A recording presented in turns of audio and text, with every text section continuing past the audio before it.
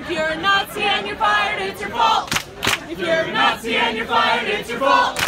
You were spotted in the mob and you lost your fucking job. If you're a Nazi and you're fired, it's your fault.